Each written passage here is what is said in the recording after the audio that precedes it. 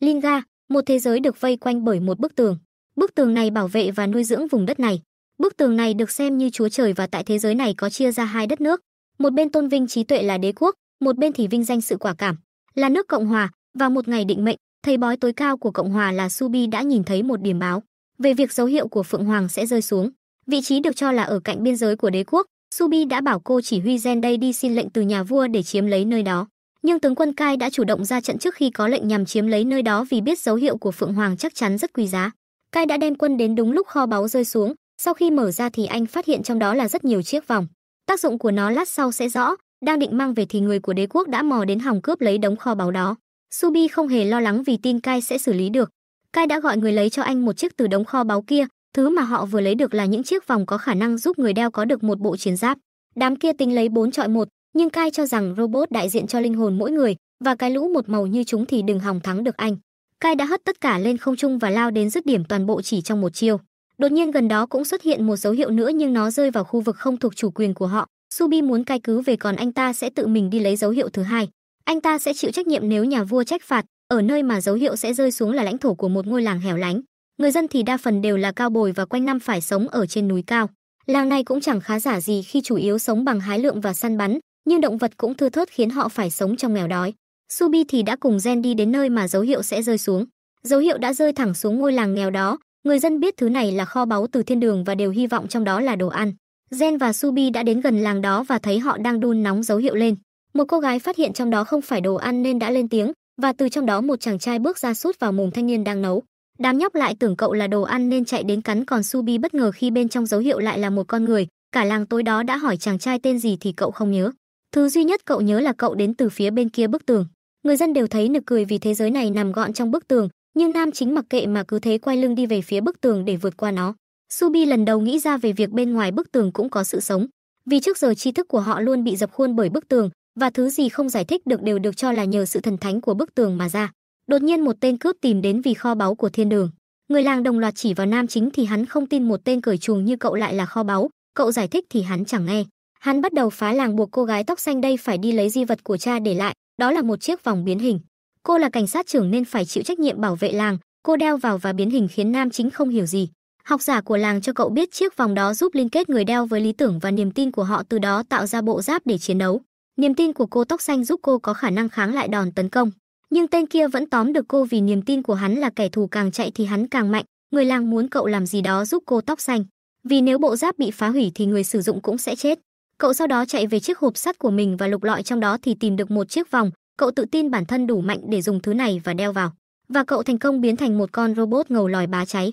Cậu đã vào chiến đấu thay và dụ tên cướp chạy theo cậu xuống núi. Hắn lao đến tấn công thì cơ thể cậu nhão ra như slim nhưng khi định hình lại thì vẫn chiến đấu được. Cậu chưa nghĩ ra niềm tin của bản thân là gì mà liên tục sút hắn đến mức chiếc vòng của hắn bị vỡ và buộc hắn phải bỏ chạy. Cậu sau đó nhận một chiếc quần từ cô tóc xanh và rồi chọn cho bản thân một cái tên là Arrow. Cậu sau đó lại biến thành robot để chạy về phía bức tường. Cậu chạy liên tục 5 tiếng đồng hồ và rồi cũng kiệt sức mà trở về dạng người. Subi đã tìm đến cậu và thấy cậu trụ được lâu vậy thì cũng là kỳ tích vì người thường dùng 1 đến 2 tiếng là đã quá sức lắm rồi. Subi hỏi cậu về bên ngoài bức tường thì cậu chẳng nhớ là ngoài đó có gì, với người dân nơi đây. Họ tin bên trong bức tường là tất cả nên sẽ ít người chịu tin tưởng cậu. Cậu sau đó bị Subi giải thích cho dối trí nên đã cho anh ta một cú khiến Gen lao đến tấn công cậu. Subi đã ngăn lại và anh ta lại có vẻ thấy Arrow rất thú vị. Anh ta sẵn sàng giúp cậu ra khỏi bức tường nhưng sẽ cần cậu ở lại đây vài ngày. Người ở ngôi làng lúc này đang xem cô tóc xanh có ổn không, nhưng cô thì lại muốn đi tìm Arrow. Vậy mà đột nhiên cậu lại bị ném về đây và đang ngủ, còn Subi cùng Gen thì đã về và Gen muốn Subi giữ im lặng về Arrow và việc ở bên ngoài bức tường nếu không muốn ra tòa. Cả hai gặp lại Kai và anh ta có hỏi về kho báu thứ hai ra sao thì Subi sẽ giải thích sau. Sáng hôm đó, Arrow đã hòa nhập với làng, lũ trẻ thì tìm cách chơi đùa với cậu. Cô cảnh sát trưởng được biết tên là Ashley, cô đã cho cậu bộ đồ này và nó được may từ thanh niên tên là Bit đây. Cậu ta là thợ may của làng, Arrow khen đồ rất tốt nhưng cậu ta muốn Arrow sửa lại nhà cho cậu ta. Cậu làm tạm một căn nhà tạm bợ cho cậu ta và hứa sẽ làm to hơn nếu có nguyên liệu. Cô gái được xem là thợ săn của làng cũng đã đến, cô là Elsa. Cô tỏ ra không tin tưởng Arrow và bảo cậu đi theo. Cô đã dẫn cậu đi săn và cho cậu thấy ngôi làng của họ như nào. Làng của họ rất nhỏ và nghèo đói.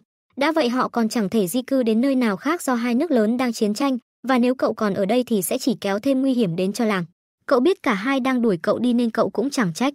Biết chỉ đưa cậu ít lương thực và đó là những gì cả hai có thể cho cậu. Trong lúc đó, Subi đã làm giả con ấn của nhà vua để cùng gen đến những nơi tuyệt mật nhằm tìm ra sự thật về thế giới này. Anh ta cũng nhận ra tên cướp đã tấn công ngôi làng là người của đế quốc. Tên cướp lần trước đã về báo cáo lại việc hắn bại trận nhưng chỉ vỡ chiếc vòng còn người thì không sao cho đế quốc nghe. Công chúa của nơi này muốn nghe thêm về việc đó, vì cô là một người trụng hòa bình.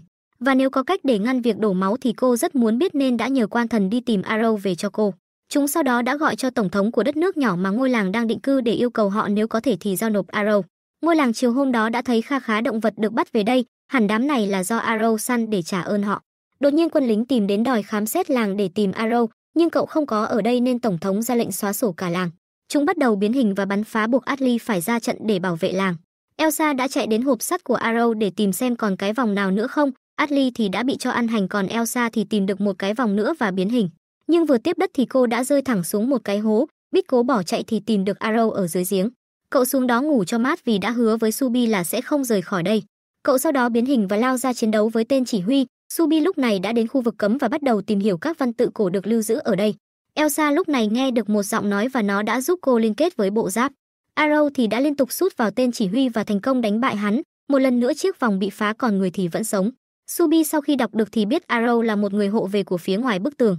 Và một khi cậu thực sự tỉnh giấc và nhớ lại mọi thứ thì thế giới sẽ bị hủy diệt. Trong lúc đó, Elsa đã ra được khỏi hố và còn kéo ra thêm một con tàu khổng lồ. Vua Cộng hòa lúc này đã đem phát những chiếc vòng mới thu được cho quân lính và quân lính ai cũng như ai. Nhà vua sau đó có hỏi Kai về kho báu thứ hai và yêu cầu anh nhắn Subi đến báo cáo sớm nhất có thể. Elsa sau khi kéo được chân cô khỏi con tàu thì nó đột nhiên dừng lại và rơi xuống. Kai sau đó nghe được việc có người trong kho báu thứ hai và cả về con tàu có khả năng hủy diệt thế giới mà anh mới điều tra được. Kai muốn Subi bớt chơi liều lại vì hoàng đế rất đáng sợ và Subi cũng là cái gai trong mắt nhiều người khác. Subi hứa sẽ điều tra cho rõ ràng rồi mới báo lại với nhà vua vì ai cũng biết nhà vua đáng sợ ra sao, cả ngôi làng lúc này đã bị tàn phá nặng nề và không còn ở được nữa. Arrow muốn dùng con tàu này để ra ngoài bức tường và chỉ Elsa mới di chuyển được nó. Cậu sau đó lăn ra ngủ còn biết thì đã bàn được gì đó với tên chỉ huy, lúc Arrow ngủ dậy. Cậu thấy người làng đã trở mặt với cậu và còn cướp đi vòng biến hình. Họ nói là chỉ cần nộp cậu và thứ này cho tổng thống là họ sẽ được sống yên ổn. Đêm đó, Atli đã đến và bắt Bit phải thả Arrow đi vì cậu đã cứu mạng họ đến hai lần, nhưng Elsa muốn Atli bỏ súng xuống vì quân đội chỉ bắt cậu đi chứ không xử tử. Arrow cũng bảo Atli cứ mặc cậu, cậu sẽ đối đầu với chúng chứ không bỏ chạy để rồi ảnh hưởng đến làng. Hôm sau, Elsa đã biến thành robot để lái tàu và đưa toàn bộ người dân cùng Arrow đến nộp cho tổng thống. Biết nhận ra bản thân đã bị Atli ghét nên khá buồn, lúc đến gặp tổng thống và giao Arrow. Ông ta đã bảo họ hãy đi qua hẻm núi này mà đến nơi định cư mới. Ai nấy tin sái cổ mà lên tàu đi tiếp, Bít thì xin gia nhập quân đội vì đã bị ghét. Lúc cả làng đang bay qua hẻm núi thì Bít đã bị lừa mà khai hỏa khẩu pháo, hàng loạt pháo được bắn ra nhằm chôn vùi cả con tàu dưới đất đá. Vì tổng thống không muốn để lộ con tàu với hai nước vì sẽ bị ép phải giao nộp, và nếu nộp cho một bên thì bên còn lại sẽ không để yên. Bít biết bản thân đã bị lừa nên đã cướp lấy chiếc vòng từ tên tổng thống và ném nó cho Arrow. Cậu phá lồng thoát và đưa Bít rời đi. Arrow đã thông não cho Elsa và cô quyết định bay lên bầu trời một lần nữa. Tên chỉ huy đã xin một chiếc vòng để đuổi theo và bám theo lên đến tàu. Arrow định vào cuộc thì Ashley lại ra trận lần nữa. Cô đã trói tên kia thì lại bị hắn lắc liên tục và bắn vào mồm. Cô đã thay đổi niềm tin và phản ngược lại đạn về hắn và để Arrow dứt điểm. Cả làng sau đó bắt tổng thống và quân đội không được động đến họ nữa.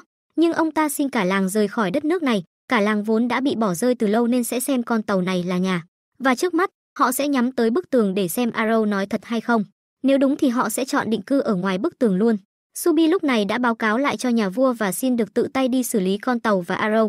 Năm xưa, Kai và Subi đều là những đứa trẻ bị làng bán đi cho chính quyền. Cả đám trẻ bị bỏ dưới giếng như súc vật khiến Kai rất tức giận, anh tự phá còng và muốn vươn lên nắm lấy đất nước này. Thế là Subi cùng Kai đã nuôi dưỡng một giấc mơ là thay đổi toàn bộ đất nước này. Và lý do Subi muốn đi xử lý Arrow là vì nếu anh ta có thể lập được đại công thì sẽ không còn kẻ nào có thể ngáng đường cả hai đạt được giấc mơ. Anh không muốn Kai đi theo là vì sợ người khác sẽ bảo là bản thân ăn hôi công lao của Kai, cả hai sẽ quyết phải thực hiện được ước mơ. Trong lúc đó, một nhóm lính đánh thuê đã đến khu vực trung lập giữa hai nước và tấn công vào đồn điền của đế quốc. Nhóm Arrow lúc này đang tính đến việc để tàu đi men theo con đường trung lập để đến bức tường, nhằm tránh đụng độ với hai nước. Đột nhiên quân lính của Cộng hòa đã xuất hiện để tấn công họ. Họ đã ném vào một quả cầu và cho nhóm Arrow gặp mặt nhà vua. Ông ta quyết tâm xóa sổ con tàu này và họ sẽ không có cơ hội để đàm phán. Vừa dứt câu thì súng đã được khai hỏa. Bác sĩ đã bảo họ đến trốn tạm ở thành phố Thương Gia ở gần đây. Atli sẽ dẫn đường, Elsa lo lái tàu còn Arrow sẽ phòng thủ. Subi đã cho bốn tên lính đánh thuê ban nãy ra trận để chiến đấu. Bốn tên đã đeo vòng vào và lao ra xịt một loại khói gì đó khiến con tàu không thể bay được nữa. Subi đã dùng thử cách khắc chế tàu bay của họ lên thứ này và ai dè nó hiệu nghiệm. Con tàu đã dừng lại buộc Arrow và Atli phải xuống chiến đấu. Subi và Zen đã đến chào hỏi Arrow. Trước đây Subi giúp cậu là vì nghĩ cậu sẽ có lợi nhưng giờ thì khác. Arrow muốn đàm phán với Subi nhưng bất thành khiến cậu giờ cũng chẳng rõ Subi là bạn hay thù. Bốn tên kia cho cậu biết là Subi đã dặn họ phải giã cậu thành cám. Chúng cũng giới thiệu bản thân rõ ràng rồi mới bắt đầu chiến đấu. Chúng đều muốn cậu đánh hai tí để chúng còn được nhiều tiền công. Thực ra Subi làm trò này là để kiểm tra sức mạnh của Arrow. Tất nhiên anh sẽ không dễ dãi với cậu, nhưng thông tin là thứ quý giá nhất Subi phải nắm được. Bên đế quốc thì nghe tin biên giới bị tấn công nhưng lại không bị xâm lấn, đã vậy chúng còn có ảnh của con tàu nên nghi ngờ là tên tổng thống tạo phản. Atli lúc này đã bị một tên kéo xuống đất. Arrow thì bị ba tên còn lại dùng gió, nước và lửa tấn công. Elsa cũng chẳng thể ở mãi trên tàu nên cũng tách ra để đánh. Cô vừa hội quân với Atli thì đã bị úp sọt bởi ả xài nước. Arrow bị chúng chê là đồ kém cỏi và chẳng có gì ngoài may mắn. Thế là cậu cho chúng biết tại sao cậu là nhân vật chính. Cậu đột nhiên học được khả năng phân thân và phân làm bốn bản thể, khi số lượng đã ngang bằng thì chẳng có gì làm khó được cậu. Subi giải thích được việc cậu có khả năng này là vì cậu không có một niềm tin cụ thể. Nhờ vậy năng lực của cậu là vô hạn, có nghĩa dự báo về ngày tàn của thế giới là sự thật. Lính Cộng hòa sau đó đã kích hoạt giáp đồng loạt, nhưng Subi đã bấm một nút và khiến những chiếc vòng vỡ hết.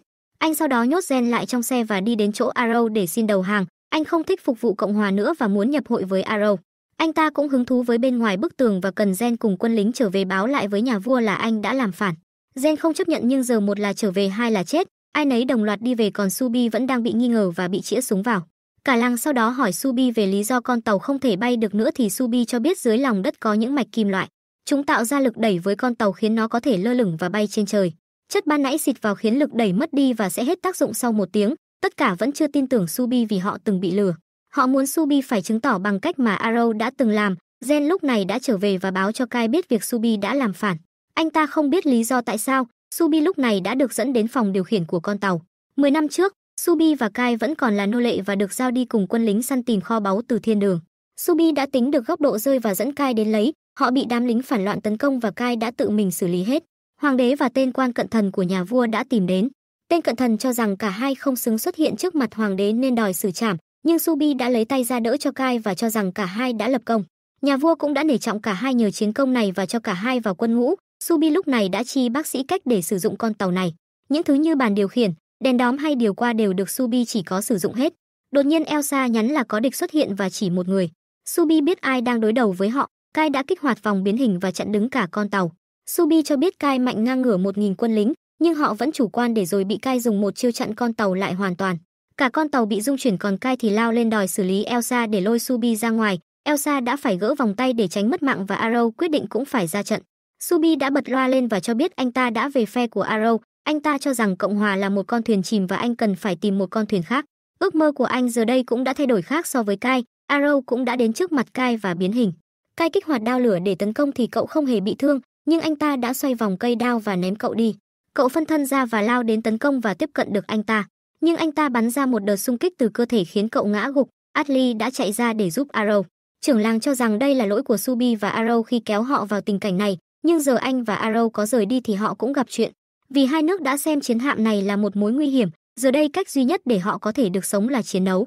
Anh ta có cách giúp họ thoát khỏi tình cảnh hiện tại và cần bác sĩ nghe theo chỉ dẫn của anh ta. Subi sau đó đã ra ngoài và yêu cầu tất cả tháo bỏ bộ giáp để nói chuyện. Arrow không ngờ cai mạnh đến vậy, và giờ cách duy nhất họ có là tin vào Subi. Subi đã đến đàm phán với Kai và bị Kai khiển trách vì cái tính ích kỷ khi phản bội lời hứa. Anh lấy vết sẹo ra để nhắc cho Subi nhớ. Năm năm trước, lúc Kai được giao cho vòng biến hình thì anh là người duy nhất khác biệt nên đã được đưa lên làm tướng quân. Còn Subi thì cũng cố để làm chiêm tinh trưởng, cả hai đã cùng hứa sẽ thay đổi đất nước này và Kai đã cắt vết này để giúp anh nhớ về ơn nghĩa của Subi. Nhưng giờ Subi đã khỏi và không còn sẹo, anh giờ cũng không thích thay đổi đất nước nữa mà anh muốn thay đổi cả thế giới. Lý do anh chọn Arrow dù cậu yếu hơn Kai là vì Arrow có khả năng hơn là Kai. Kai sau đó đã rút kiếm ra để chiến đấu, nhưng Bit đã chĩa súng vào anh ta. Nhưng Kai chỉ quay lại hất bay súng và cho Bit một cú rõ đau, nhưng Arrow đã quay lại chiến đấu. Cậu bắn ra một cú hỏa mù để đeo lại vòng và lại biến hình. Kai muốn chiến nhưng Subi đã bảo bác sĩ khai hỏa khẩu pháo. Nó bắn xa được đến tận cung điện và phải đến phát thứ hai thì Kai mới rén mà quay về. Arrow cho rằng Kai là bạn thân của Subi mà không thể hiểu được mong muốn của anh ta. Nhưng giờ đây Kai đã xem Subi là kẻ thù lớn nhất nên sẽ không ngừng tìm cách để hạ được Subi. Subi vẫn còn vết sẹo nhưng chỉ là dán lên để che đi. Subi thấy bác sĩ đã diễn rất tốt. Ban nãy thực ra họ chỉ bắn đạn rỗng, còn vụ nổ là do Subi thiết lập sẵn ở thủ đô từ trước và nhân lúc mà bấm nút. Đó là cách duy nhất để đuổi được Kai về. Tối đó, Nhà vua nghe tin Kai đã thất bại nên sẽ kỷ luật Kai một thời gian. Gen giờ đây đã không còn xem Subi là chủ nhân nữa nên Kai đã thu nhận cô. Sáng hôm sau, Elsa có hơi mệt sau khi bay liên tục 3 tiếng. Subi muốn tìm cách để cô nghỉ ngơi thì biết không tin anh ta nên Arrow cho cậu ta làm chủ của Subi. Subi đã dùng sự thông minh để khiến Bit dối trí mà từ bỏ. Anh ta kích hoạt khả năng bay để Elsa có thể nghỉ ngơi và nhờ bác sĩ đi kiểm tra cô. Họ nhận thấy Elsa đã ổn và con tàu vẫn có thể bay cho đến khi bị vật gì đó cản lại. Anh ta đã dùng năng lượng tàn dư của Elsa để cho con tàu tự trôi nổi mà không cần lái.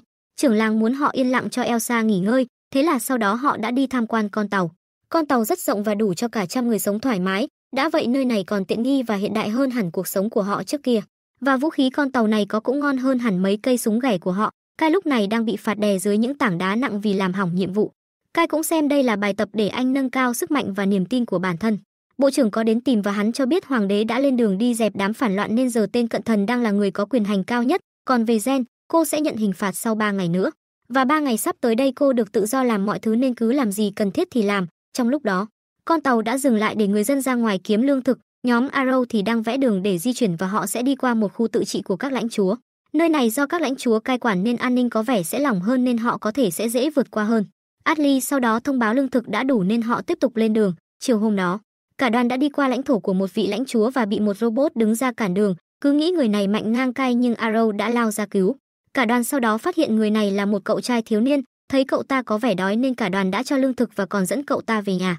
Cậu trai đã cho những người bạn còn lại biết cả đoàn đây là người tốt vì họ đã được đoàn Arrow cho lương thực. Cậu trai sau đó kể về tình trạng ở nơi đây. Họ bị xem như những có thú vật, vài người thì đã bị biến thành người thực vật sau khi bị bắt đi thí nghiệm ở chỗ của lãnh chúa. Cứ nghĩ là đã được có chỗ ăn chỗ ở mà lại bị biến thành vật thí nghiệm nên hai người trong nhóm đã cướp vòng biến hình và phá tan khu nghiên cứu để thoát ra và cứu những người khác theo. Đám nhóc muốn Arrow giúp đỡ chúng, cậu cho chúng đi theo đoàn nhưng chúng lại muốn ở lại bảo vệ nơi này. Đột nhiên tên lãnh chúa đến gây sự nên Arrow đã lao ra dọn sạch sẽ chỉ trong vài đòn, cậu sau đó đuổi chúng về và cho đám nhóc ăn tối. Cậu đã tìm đến tóc xanh và cậu ta hoàn toàn bi quan về bản thân và hy vọng Arrow có thể ở lại đây để bảo vệ chúng, nhưng cậu cứ thế quay đi. Cậu sau đó đã cùng Bit và Subi đến chỗ của tên lãnh chúa, gần sáng thì cả ba cùng người của tên lãnh chúa quay lại để tấn công trang trại của lũ nhóc. Cậu nói bản thân trở mặt là để có được bản đồ của khu này nhằm tiến đến bức tường, trưởng làng cũng nghĩ là Arrow rồi sẽ sớm trở mặt thật. Subi đã bảo tên lãnh chúa lấy mấy cái vòng biến hình ra đây, lũ trẻ đã để ý được và tóc xanh quyết định sẽ không yếu đuối nữa mà lao ra chiến đấu. Cậu nhóc xả khói ra và lao đến đấm Arrow, còn Subi thì nháy đèn để lũ trẻ đến lấy mấy chiếc vòng đi. Chúng đã có thể biến hình và áp đảo tên lãnh chúa, còn Arrow cũng không đánh nữa. Bản đồ thì Subi cũng đã nhớ nên có thể xem là tên lãnh chúa đã bị lừa. Thế là Subi đã giúp lũ trẻ có vũ khí để tự vệ, đồng thời cũng giúp chúng mạnh mẽ hơn để đối đầu với những kẻ dám đe dọa đến ngôi nhà chung này. Cả đoàn sau đó tiếp tục chuyến hành trình và Subi thấy Arrow cũng khéo khi biết giữ miệng, nhưng cậu xem anh ta mới là người có công lớn nhất khi nghĩ ra kế hoạch này. Đoàn của Arrow sau đó đã nhận thấy có một đoàn quân đang đuổi theo họ, nhưng đoàn quân này sẽ không dại gì mà tấn công họ ở gần bức tường giao nhau với vùng chung vì điều đó là cấm kỵ. Có điều nhà vua của Cộng hòa thì sẽ sẵn sàng tiến đánh họ dù đó có là trái luật, thế nên họ sẽ phải sớm đánh sập bức tường và rời đi trước. Đột nhiên đám nhóc chạy đến báo tin là một nửa số dân làng và trưởng làng muốn rời đi, vì lòng tin của họ là nếu đánh sập bức tường thì họ sẽ bị nguyền rủa. Họ đã sống cả đời trong này và giờ không thể sống cuộc sống ở bên ngoài nó, nhưng nửa còn lại vẫn sẵn sàng đi tìm nơi tốt hơn.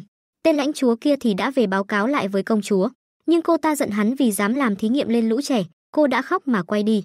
Còn hắn lúc ra về thì thấy công chúa quá mềm yếu, và cái giá là đội trưởng đội kỵ binh đã lấy một tay của hắn vì tội làm công chúa phải khóc. Cô ta sau đó nghe hai vị cận thần của công chúa đây chất vấn, nhưng cô ta có lối suy nghĩ và lập trường riêng, và cô ta cũng sẵn sàng đi triệt hạ con tàu đang làm khó họ. Trong lúc đó, đoàn của Arrow đã đến được bức tường và chuẩn bị phá nó, cậu đã hóa thành robot và tung đòn nhưng chẳng si nhê. Atli cũng phải giúp nhưng chẳng có tác dụng, Subi cũng chẳng biết lý do vì chưa từng có ai thử nghiệm lên bức tường này cả. Trong lúc đó, Gen đang cố đi tìm mọi thông tin mà Subi để lại và phát hiện ra được quả bom anh gài trong cung. Từ đó tên cận thần của nhà vua cũng sớm biết được Subi đã gài bom và lừa họ lần trước, nhưng hắn vẫn không cho tên chỉ huy đây tấn công vì hiệp ước trung lập. Subi lúc này đã mò được cách dùng khẩu pháo của tàu và bắn vào bức tường, nhưng vẫn chẳng si nhê gì. Đột nhiên bức tường bắt đầu mọc ra hai cái vòi gì đó và thổi họ lùi về phía cộng hòa. Tên chỉ huy được đà nên cho quân lao lên tấn công. Ông ta là đại tướng của phía Bắc Cộng hòa và sẽ mang đầu của Arrow cùng Subi về cho nhà vua. Hắn lao lên và kéo Arrow xuống khỏi tàu để đánh, Atli cố chống chọi thì cũng vô dụng, nhưng hắn vẫn chẳng thể tấn công được cơ thể như Slim của Arrow, thế là hắn đành cho người xả khí xóa lực đẩy để ngăn tàu rời đi.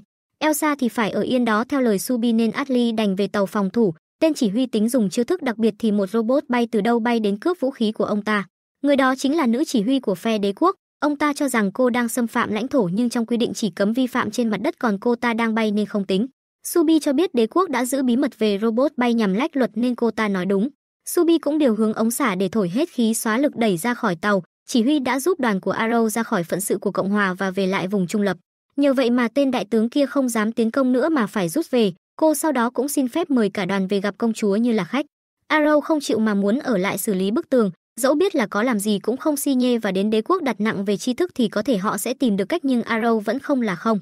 Chỉ huy quyết định sẽ đưa cả đoàn về chỗ công chúa và quay lại thuyết phục Arrow sau, trong lúc đó, Gen và Kai cũng đã sắp được tự do và thề sẽ cho Subi nếm mùi cay đắng. Cả đoàn sau đó đã được cô chỉ huy cho biết thông tin về đế quốc, nơi này được cai trị bởi sáu đấng tối cao. Đứng trên tất cả là công chúa, người ưa chuộng hòa bình và sẵn sàng giúp đỡ cho ý tưởng vượt tường của họ. Họ sau đó đã về đến thủ đô đế quốc và nơi này không hề hiếu chiến nên họ không phải lo. Ashley vẫn muốn đi đón Arrow nhưng Elsa cần cô ở cạnh lúc này. Arrow thì vẫn đang đấm tường rất tích cực và bác sĩ cũng ở lại với cậu. Cả đoàn lúc này đã đến được cung điện của công chúa. Cô chỉ huy đã dẫn họ đến bàn ăn mà công chúa chuẩn bị cho họ. Dân làng cứ thế lao vào ăn còn Ashley và Elsa thì được dẫn đến nhà tắm và gặp công chúa ở đây. Họ đã có một cuộc trò chuyện ngoại giao nhỏ ở đây và công chúa sẵn sàng cung cấp chỗ ở cho toàn bộ người dân, miễn là họ chung sống yên ổn hòa bình là được. Cô sau đó ra trước và hy vọng cô đội trưởng sẽ sớm đưa được Arrow về đây. Arrow lúc này đang ăn tối với anh bác sĩ và tâm sự vài điều với anh ta. Đột nhiên cô đội trưởng lao đến để bắt cậu về thì cậu đã biến hình để chống trả. Cậu đã tạo ra bản sao để làm điểm tựa mà nhảy lên tóm lấy cô ta, cậu muốn cô ta đưa cậu ra khỏi bức tường. Thế là cô chiều ý luôn, Subi lúc này đã đến tìm Bit để đi một lúc. Arrow đã được đưa lên cao và gặp thứ sẽ bảo vệ ở phía trên bức tường này, chúng có thể xem là những phong ấn đang giữ bức tường kiên cố và không cho ai thoát ra. Arrow vẫn cố chấp lao lên thì bị cô tấn công và sút xuống lại, nhưng đột nhiên một hộp kho báu được thả xuống nên cậu đã tóm lấy nó để bay đi. Subi được đưa đi gặp hai cận thần của công chúa, cả hai sẵn sàng cho Subi tị nạn nếu anh giao ra bí mật của Cộng hòa. Anh đã thỏa hiệp nhưng muốn biết cách họ đã cải tiến cho cô đội trưởng có thể bay, nếu anh áp dụng được thì họ sẽ chế tạo được hàng loạt. Arrow lúc này tóm lấy kho báu vào sắp lao đến chỗ người dân thì bị cô đội trưởng bắn hạ và bắt về. Cô ta đã đưa Arrow về cung điện và bị Bích phát hiện. Cậu ta đã đi quan sát theo lời Subi và gửi tín hiệu đến anh ta. Subi đã kiếm cớ về tàu và Bit đã chạy đến để tấn công lính canh. Cậu ta bị đập lại nhưng Subi đã tự xử lý được. Arrow đã bị cô đội trưởng mang đến cho lão tiến sĩ nghiên cứu. Mục đích của ông ta là nghiên cứu xem bằng cách nào mà cậu có thể điều khiển bộ giáp mà không cần niềm tin. Subi đã lường trước và bày ra kế hoạch này, giờ mọi việc sẽ do Bit quyết định. Nếu cậu ta bắn trúng cái nút kia và thả Arrow ra thì họ sống, còn không thì cậu ta chết còn Subi thì vẫn sẽ sống với giá trị của bản thân. Bit đã bắn chúng và giúp Arrow thoát ra, Subi ném bom khói vào để giúp cậu thoát ra. Cô đội trưởng vẫn lao đến tấn công cậu thì cậu đã lấy kiếm từ Subi để đánh trả và làm rơi mặt nạ của cô ta, nhưng cô ta lại chính là công chúa. Nhưng cũng không phải, vì công chúa dường như có hai nhân cách khác nhau. Subi buộc phải ném bom khói ra để giúp cả ba chạy tiếp. Subi nghi ngờ công chúa bị đa nhân cách và Bit không cho phép Arrow đánh trả vì công chúa mà chầy chật một chút là họ sẽ bị đuổi đi hết. Subi thì chẳng có thời gian rảnh để nghĩ cách và cô đội trưởng đã đích thân đến ngăn công chúa lại. Cô sẽ tự mình làm thay công chúa để côn chúa trở về. Arrow thấy chạy là ổn nhất nên đã biến hình và đưa cả hai đi theo. Cô đội trưởng đã phải gọi về báo người triển khai kế hoạch. Ashley lúc này muốn đi giúp Arrow thì bị Elsa cản lại. Dẫu biết là Elsa đã ổn định tâm lý nhưng một nửa tâm trí cô vẫn đang rất rối bời. Bởi việc đột ngột mất nhà, mất quê hương và rồi lang thang trên một con tàu để rồi sau cùng lại bị đẩy lên làm trưởng làng mới. Giờ Ashley rời đi thì cô sẽ chỉ còn một mình. Đột nhiên cả hai phát hiện Arrow và cô đội trưởng đang giao chiến ngoài kia. Arrow đang mang theo Subi và Beast nên không thể phân thân ra nên đành hóa to cánh tay để tóm cô ta. Đột nhiên cậu bị mất dạng chiến đấu và cô đội trưởng cũng đã tháo vòng để trực tiếp xử lý cậu, nhưng anh bác sĩ đã chạy đến cản, cô đội trưởng là em gái anh ta, và anh ta đã rời khỏi đế quốc chỉ vì chính anh ta đã khiến công chúa bị đa nhân cách như bây giờ, anh đang tìm cách để chữa bệnh cho công chúa và cần bộ não của Su để làm việc đó. Arrow thì là người có thể đánh bại niềm tin của người khác mà không giết chết họ. Còn biết thì anh ta không biết cậu ta có tác dụng gì, nhưng cô đội trưởng vẫn cố chấp với lòng tin và đành trơ mắt nhìn nhóm Arrow trốn đi. Anh bác sĩ đã đưa họ đến dưới cống ngầm và quyết định kể lại mọi chuyện cho họ nghe. Năm năm trước, nhà vua qua đời và đã có 40 người thừa kế, nhưng công chúa hiện tại là người được chọn. Công chúa rất thích tập bay nên cô đội trưởng đã thường dùng diều lượn để bay cùng công chúa. Cho đến một lần, anh bác sĩ đã nhìn nhầm mà bắn và khiến cả hai rơi xuống. Anh lúc đó đã nghĩ là cả hai bị chim tấn công nên mới bắn, anh biết đó là lỗi của bản thân. Công chúa cũng từ đó mà bị đa nhân cách nhưng chỉ khi ở cạnh cả hai. Em gái anh cũng bắt đầu cố gắng tìm cách hãm hại anh nên anh đã quyết định rời đi để tìm cách chữa cho công chúa. Trong lúc đó, vua của Cộng hòa đã trở về, ông ta đã nhìn ra mọi chiêu trò của tên cận thần nhưng vẫn cho rằng hắn vẫn còn hữu dụng nên giữ lại. Ông ta sau đó đến gặp Kai và thấy anh thời gian qua đã tu luyện tốt nên quyết định thả anh ra. Sau đó nhà vua đã tổ chức hành quyết tộc trưởng của quân nổi loạn mà ông ta vừa đi dẹp về. Tên tộc trưởng gọi ông ta là kẻ yếu đuối nên ông ta cho hắn một chiếc vòng và sẽ tự mình chiến đấu. Tên kia dùng đến bộ giáp còn ông chỉ dùng một món vũ khí thông thường, nhưng ngần ấy cũng đủ để ông dứt điểm tên kia trong một chiêu. Ông sau đó đã tận dụng sự hưng phấn của quân lính và quyết định sẽ bắt đầu xâm lược đế quốc. Cả làng của Atli lúc này đã bị bắt vì nhóm Arrow đã biết bí mật của công chúa, cô đội trưởng đã thề sẽ phải dùng hết mọi thứ để ở bên và bảo vệ công chúa. Đột nhiên vua Cộng hòa gửi tin đến thông báo là ông ta sẽ xâm lược vào ngày mốt và cho họ một ngày để đầu hàng. Công chúa đột nhiên đổi nhân cách và tuyên bố thách thức lại ông ta. Cô ta sau đó gọi đến cho tên tiến sĩ để gấp rút chế tạo và cải tiến bộ giáp cho quân lính, nhân cách độc ác giờ đã chiếm quyền kiểm soát. Nhân cách này cho rằng nhân cách yếu đuối kia sẽ không thể lãnh đạo được nên cô ta sẽ tự làm. Cô ta không cho phép ai cãi lại lời mà nói gì thì lo mà nghe rồi làm. Tin tức đã sớm truyền ra cho dân chúng, anh bác sĩ đi nghe ngóng được và trở về báo tin cho nhóm Arrow. Nhưng Subi nhận ra anh ta đã bị bám đuôi. Tên thư ký của công chúa đã xuất hiện tấn công thì đột nhiên có một tên hề xuất hiện và đuổi hắn đi. Tên hề này sau đó đã dẫn cả bốn đi theo để đến gặp một người gọi là ngài. Cả bốn được đưa đến một cung điện kỳ dị và gặp được người gọi là lựa chọn tối cao. Người này là một trong sáu người đứng đầu đế quốc và là người có vai trò chọn ra người thừa kế đích thực. Ông ta biết nhóm Arrow là ai nhưng Arrow lại không hề thấy thích tên này tí nào nên bước đến ông ta đột nhiên kích hoạt sức mạnh và thổi bay cậu.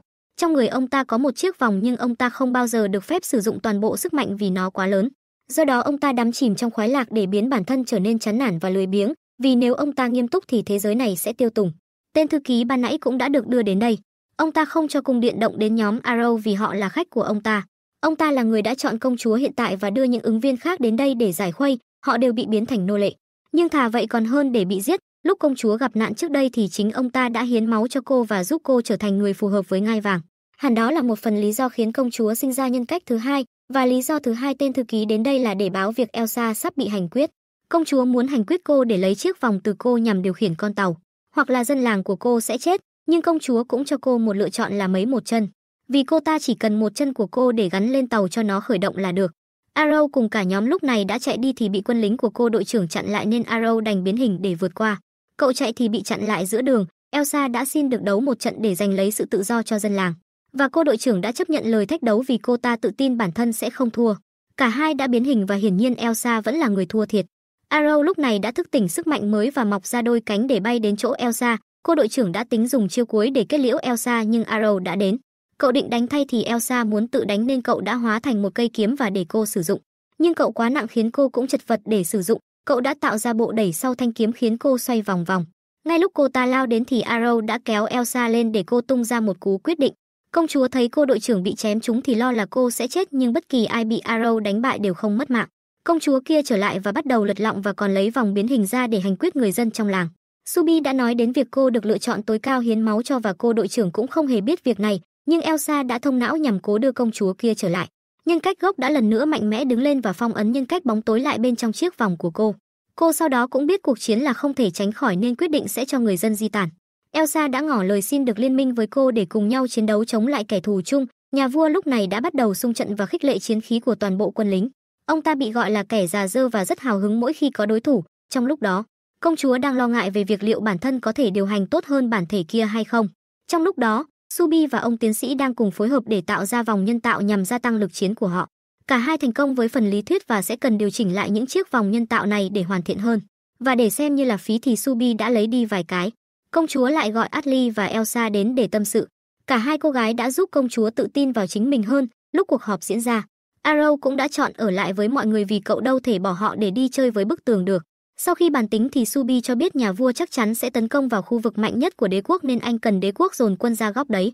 Còn cánh yếu nhất thì anh sẽ cho chiến hạm đi phòng thủ, sau đó cuộc chiến cũng đã sắp bắt đầu. Cả chiến hạm đã lên đường và để người dân ở lại, già làng thì không còn muốn dính dáng đến anh bác sĩ vì đã chán bị quý tộc chơi đùa. Cô đội trưởng đã đến gặp lại người anh trai và đưa anh ta chiếc vòng nếu anh ta còn ý định chiến đấu. Cộng hòa sau đó đã chính thức tấn công vào khu vực mạnh nhất của đế quốc. Mấy tên tôm tép thì không đáng nhắc đến nhưng hai tên đại tướng thì phải nói, một tên thì có bộ giáp nhìn như con rồng với tốc độ tấn công ngang với tia chớp, và tên đại tướng lần trước mà Arrow đối đầu thì ai cũng biết rồi. Cô đội trưởng và đoàn của cô đã lao ra để đối phó với hai tên đại tướng đó. Còn bên Arrow, Subi muốn Arrow thay đổi ước mơ. Anh muốn cậu hãy thống nhất thế giới này và trở thành người đứng đầu hai nước. Với nguồn lực đó thì cậu sẽ có thể dễ dàng phá hủy tường thành. Nhóm của cậu đã chạm trán kẻ thù lớn nhất là Kai, Kai và gen đã cùng biến hình buộc Arrow phải xuống đối phó. Cậu lao đến tấn công Kai thì bị gen chặn lại. Kai cứ thế vượt qua và Subi cần Elsa cứ ở yên tại chỗ lái tàu, những tên tôm tép chạy đến thì bị Subi bắn hạ toàn tập. Arrow đã cố vượt qua Gen bằng cách dùng phân thân để đánh lừa cô ta rồi dùng cánh bay đi. Cậu đã lôi Kai lên trời rồi thả xuống để Subi bắn tới tấp vào. Vì khi ở trên không thì Kai sẽ không thể né, cậu liên tục lặp lại và kéo Kai lên để Subi bắn khiến Kai cho rằng Subi là tên hèn. Cậu sau đó đã lấy kiếm lao đến hòng dứt điểm Kai thì Gen đã đứng ra chặn. Cô ta mất bộ giáp và nhảy lên người cậu để ôm bom cảm tử. Cậu đã buộc phải tháo vòng để phá kíp nổ của cô ta, cậu bị đâm vào tay nhưng cũng đã đấm cô ta một cú cho tỉnh ngộ. Cậu sau đó hóa kiếm cho Atli sử dụng, cô xoay vòng và ném cậu đi để quét sạch quân địch, Kai thì cũng đã gục do nhận quá nhiều phát bắn ở chiến tuyến còn lại. Trận chiến vẫn đang căng thẳng và nhà vua đã dùng đến chiêu trò bẩn thỉu là tung đòn cắn lén cô đội trưởng khiến cô bị ném bay thẳng về cung điện. Ông ta nghe tin Kai đã thua thì quyết định rút lui, Subi đã trách Arrow vì không xử lý Kai thì cậu muốn Kai sống sót để sau này cậu làm người thống nhất thì sẽ xem anh ta là bạn. Kai sau đó tỉnh lại ở trại và vẫn cay cú vì để thua. Arrow thì đã được đưa về để băng bó lại tay. Subi đã giải thích cho cậu một mớ lý thuyết về thứ gọi là hạt niềm tin và cho biết việc cậu bị thương ở tay giờ đây sẽ khiến cậu khó chiến đấu hơn. Vì nếu cậu không cẩn thận thì cậu có thể giết luôn người khác thay vì chỉ phá đi mỗi chiếc vòng, lúc bàn chiến lược. Họ dự định dụ Cộng hòa vào một hẻm núi để tấn công nhằm để đá đè lên và chôn vùi nhà vua. Dân chúng sau đó lại biểu tình phản đối chiến tranh buộc công chúa phải ra mặt để trấn an người dân. Họ đã chọn tin cô còn cô đội trưởng thì thấy nhục vì lần thua này. Gen lúc này đang luyện tập với đại tướng thì nhà vua tìm đến. Biết cô đang khao khát mạnh hơn thì ông ta đã trói cô lại rồi quăng xuống thác nước để cô tự sinh tồn. Cô đã ngoi lên và dùng miệng bám vào rễ cây. Biết lúc này muốn được làm gì đó và xin Subi một chiếc vòng. Nhưng anh muốn biết tập sử dụng pháo của tàu trước rồi tính. Đột nhiên Arrow tìm đến và hỏi lý do Subi phải cố gắng nhiều đến vậy để chiến thắng. Sáng hôm sau, cả chiến hạm đã tìm được để bọc sau quân Cộng hòa, nhưng họ không dễ gì làm vậy mà vẫn bị chặn đứng. Một lần nữa Kai một mình xuất hiện và biến hình, nhưng anh ta vẫn đang bị thương nên Atli đã xuống tấn công trước và để Arrow sút lên trời cho biết xả đạn. Kai bị bắn hạ và bị bỏ lại cho vài tên lính xử lý nốt. Nhóm Arrow sau đó tiếp bước đến trợ giúp cho cánh còn lại. Cô đội trưởng lúc này đã bắt đầu hơi rén khi có mặt nhà vua. Jen đã trở về và cô đã giác ngộ nên được nhà vua trao cho chiếc vòng khác. Cô sau đó đã quay lại tìm Kai, Kai đang bị vài tên lính đánh hạ và cứ nghĩ đây sẽ là kết thúc của hành trình thì Jen đã tìm đến. Cô giờ đây đã có năng lực mới và muốn Kai hãy sử dụng đôi cánh của cô để chiến đấu, nhưng Kai vẫn còn cái lòng kiêu hãnh ngút trời nên không muốn. Jen đã đấm anh ta một cú để anh ta vứt đi cái liêm sỉ đó mà chiến đấu bằng tất cả những gì mình có như cách Subi cũng đang làm. Anh ta cũng đã được giác ngộ và quyết định hợp thể với Jen để khoác lên bộ cánh mà đuổi theo. Cô đội trưởng lúc này đã gần như đuối sức thì chiếm hạm đã đến để hỗ trợ. Arrow định ra đánh thì bị Kai tìm đến. Kai cho rằng bản thân giờ cũng chẳng thua gì Arrow, anh ta đánh cậu rơi khỏi bầu trời và rồi lao đến tấn công vào Elsa. Cô bị tách khỏi tàu khiến con tàu không thể hoạt động và giờ nó chẳng thể giúp ích gì cho cuộc chiến nữa. Arrow quyết định phải tung hết sức để đánh với anh ta, nhưng cậu vừa định dùng đến lưỡi kiếm trên tay thì nó đột nhiên gặp trục trặc. Ze nhận ra đấy có thể là do vết thương cô gây ra. Nhưng dù vậy thì cả hai cũng sẽ không nể nang gì Arrow nên cậu cũng quyết định phải chơi tới bến với cả hai. Hai cô gái dưới kia lúc này đang phải đối đầu với hai tên đại tướng lão luyện, còn Arrow thì chỉ đành lấy tay đấu với thanh đao của Kai. Anh ta lùi lại lấy đà và lao đến Arrow thì cô chỉ huy đã đứng ra chặn đòn giúp cậu. Hai cô gái thì đã được hai cấp dưới thân tín của cô đội trưởng đến hỗ trợ. Cả hai đều xin lỗi vì đã hiểu nhầm mà bắt giam họ. Cô đội trưởng thấy Arrow có vẻ khó khăn với cánh tay nên đã bảo cậu bay lên. Cậu hiểu ý mà làm theo, vì Kai và Zen không hề biết có thứ gì trên bầu trời đang chờ đợi họ. Cả hai đã vòng ngược lại và đẩy Kai và Zen vào đống vật thể giới hạn trên trời và cô đội trưởng muốn nhân cơ hội dứt điểm luôn. Nhưng Arrow sợ sẽ lấy mạng cả hai nên đã nâng tay và rồi để cả hai có cơ hội thoát ra. Subi đã bảo cậu hóa thành kiếm cho cô đội trưởng xài thì cậu cũng đã làm theo. Thế là cuộc chiến giữa bốn người hợp thể sắp bắt đầu, đột nhiên công chúa phát hiện cuộc chiến đang được phát cho người dân xem. Người phát chúng chính là lựa chọn tối cao, đột nhiên Kai và Zen tách ra buộc Arrow cũng phải biến về dạng robot để lao đến đuổi theo Zen. Kai đã tung dây tóm lấy chân cô đội trưởng rồi phóng điện khiến cô bị giật. Arrow đã phải lao xuống để hỗ trợ cho cô và kéo Kai đi chỗ khác và để hai cô gái tự xử lý với nhau. Biết lúc này phải tự điều khiển tàu vì Elsa đã không còn để điều hướng tàu. Công chúa quyết định không ngồi nhìn nữa mà cũng sẽ ra chiến tuyến, cô tự tin bản thân có thể kìm hãm được bản chất bóng tối kia. Arrow đã đưa Kai lên trời xanh và muốn Kai tỉnh ngộ và thấy hiểu cho Subi. Mục đích Subi phản bội lại mọi thứ là vì anh ta muốn được thấy toàn bộ thế giới rộng lớn.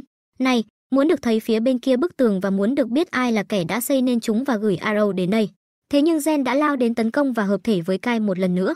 Cả hai cứ thế ném Arrow rơi xuống mặt đất và cho rằng một kẻ ích kỷ chỉ muốn trở lại bên ngoài bức tường như cậu thì làm sao hiểu được người dân đang phải khốn đốn ra sao. Anh ta đã định kết liễu cậu thì công chúa bất ngờ xuất hiện, cô đến trước mặt Kai và anh dù có làm gì cũng chẳng thể tấn công được cô. Cô đã dùng sức mạnh hồi phục cho toàn bộ mọi người ở phe đồng minh và giúp Arrow trở lại cuộc chiến. Người dân được phen vui mừng nhưng hoàng đế cũng thấy giờ đã là lúc để ông ta ra trận. Ông ta lấy một lúc 10 chiếc vòng và đeo vào rồi lao thẳng ra giữa chiến trường. Quân ta đang dồn địch vào hẻm núi thì hoàng đế tìm đến và thấy nơi này quá chật hẹp nên phẩy tay một cái khiến hai bên núi bị thổi bay.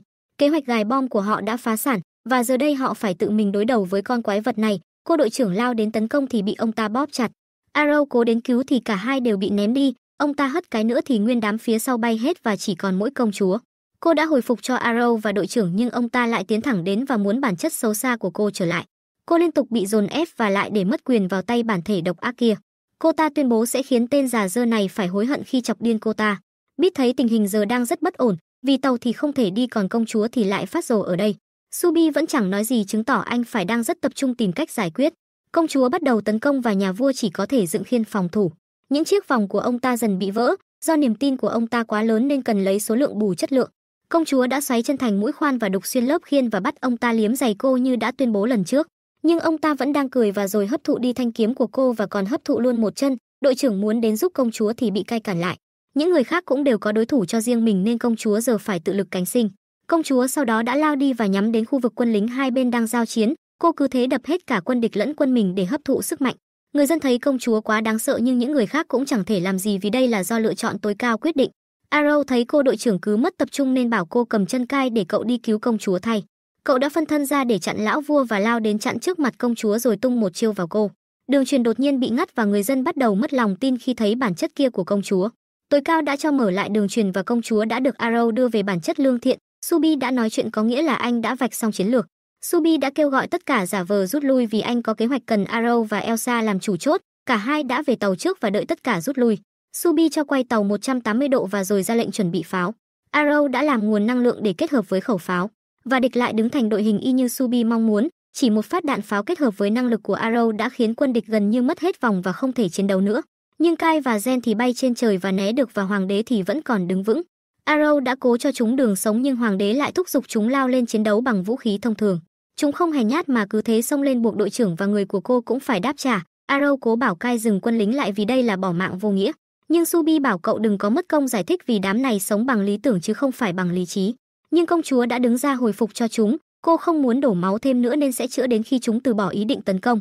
Những người khác đã theo cô mà chạy lên giúp đỡ. Hoàng đế cũng được cô hồi phục cho và cũng vừa đến giới hạn mà trở lại thành người.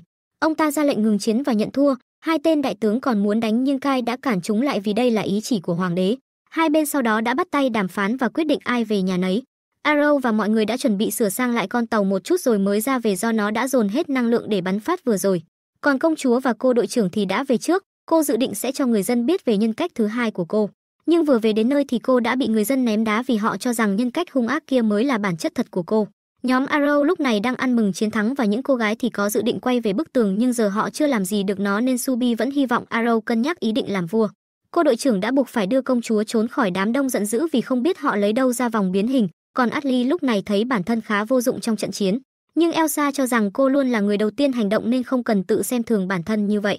Công chúa đã trách móc đội trưởng vì kéo cô đi mà không để cô giải thích. Tiến sĩ và hai cận thần cũng chạy đến và cho biết người dân đã đột nhập vào phòng thí nghiệm của ông để cướp vòng biến hình, và công chúa thì không cho phép họ làm hại đến người dân. Đội trưởng sau đó biết được chính tối cao đã làm lộ việc này ra, công chúa muốn đi giải thích với dân thì đột nhiên ngất đi. Sau khi đưa về phòng thì đội trưởng nhận ra công chúa cũng bị thương. Subi lúc này thì cần hơn một ngày để khôi phục lại tàu. Đột nhiên họ bị một con robot lạ tấn công, Arrow đã phải ra ngoài để đối phó. Nhưng họ chẳng thể nào thấy được hình dạng hoàn chỉnh của đối thủ. Arrow đã phân thân ra để giữ lại thì kẻ đó đã biến mất. Trong lúc đó, người dân đang đảo chính buộc công chúa phải đứng ra để giải thích.